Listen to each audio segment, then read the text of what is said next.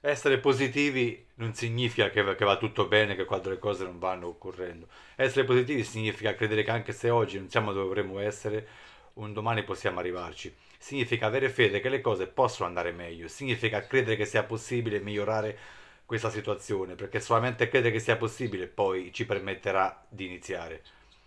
Ma c'è un concetto fondamentale, se siamo ciò che mangiamo, la nostra vita è ciò che leggiamo, ascoltiamo e vediamo, in pratica ciò che viviamo. Questo perché l'ambiente che ci circonda ci influenza, influenza le nostre credenze, la nostra attitudine e i nostri stati d'animo.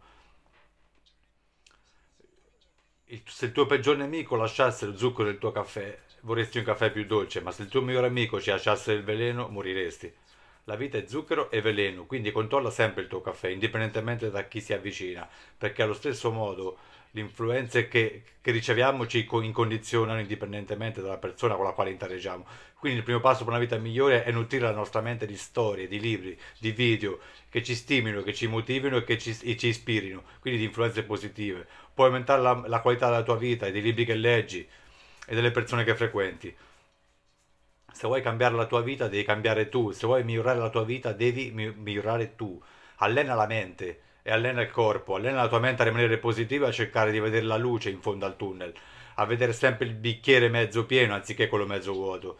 C'è un altro punto fondamentale che è possibile cambiare. L'energia, pensa in grande, comincia in piccolo. Per cambiare i, i più grandi problemi della, della tua vita devi, devi iniziare cambiando quelli più piccoli. Inizia mangiando bene un pasto, inizia a studiare senza telefono per un'ora, inizia a non bere per quella sera, inizia a non spendere per quelle cose che non ti servono, inizia a passare un'ora con le persone che ami, inizia in piccolo e prendi lo slancio. Vedrai che più piccole azioni completi e più realizzi l'idea che è possibile cambiare. Questo è fondamentale, però bisogna stare attivi. Quindi quello che pensi è quello che sei.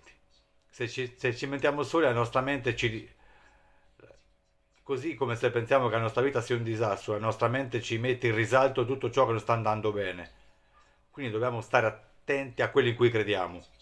So che ci sono momenti in cui ci sembra tutto nero, in cui non troviamo nemmeno un elemento positivo, ma fidati di me, ci sono cose belle. Le state semplicemente trascurando. Non ti senti felice, non ti senti energico, vorresti gridare, piangere per la rabbia, per la frustrazione, ma fidati che andrà tutto bene. Dipende da te cambia prospettiva, cambia atteggiamento, comincia a credere che un domani tutto questo sarà finito, sarà diverso, comincia a credere che se oggi cambi quello che fai, domani allora sarà veramente diverso e se oggi migliori quello che fai, domani sarà migliore. Comincia in piccolo e non smettere mai di migliorarti. C'è gioia, c'è felicità, ci sono giorni pieni di vita. La vita è spettacolare. Non arrenderti mai alla tristezza, non arrenderti mai alla rabbia, e lotta per la tua felicità, lotta con tutto quello che c'è di magnifico, lotta per le emozioni che ti fanno venire i brividi solo a vederle, lotta per quelle giornate che finiscono con un bel sorriso, lotta per quelle serate con le compagnie in, be- in bei amici, lotta per la gioia per la famiglia, lotta per qualcosa, lotta per i tuoi sogni, lotta per riempire la tua vita di attimi indimenticabili, di successi, di gioia e di amore non c'è tempo per essere tristi, la vita è troppo breve, non sprecarla nemmeno un attimo, non ne vale la pena, ne uscirai, ne uscirai più forte di prima, con più grinta e più consapevolezza, non mollare mai. Pre- rendi la tua vita un capolavoro.